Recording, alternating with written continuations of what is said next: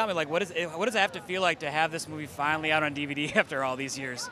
Well, it's like a resurrection. Um, same thing happened with uh, another film I did, The Monster Squad.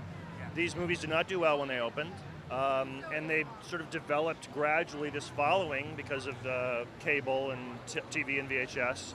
And um, it's like a new life. It's really great.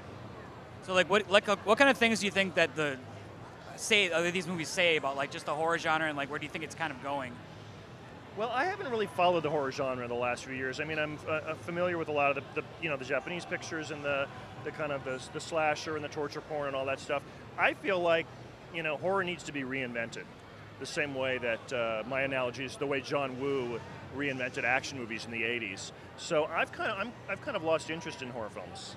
Would you be willing to reinvent that yourself then, or Boy, I think it's a real tough. It's a real tough job. Um, but all of my favorite horror films are the ones that s- sort of broke new ground. Psycho, uh, Night of the Living Dead, The Texas Chainsaw Massacre, Exorcist.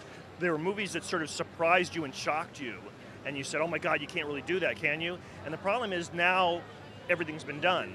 So how do you do something that's going to shake things up? I don't know that you can anymore. just uh, what would you like to say for, for all the fans that have been following this film and what to expect on this new DVD release? Um, it's chock a block. It's got um, several documentaries. It's got two commentaries.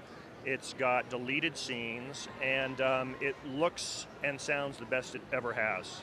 So uh, I like to say, if you like the movie, uh, you're going to love the DVD, and if you don't like the movie, it's the, it, the movie's better than it used to be. So.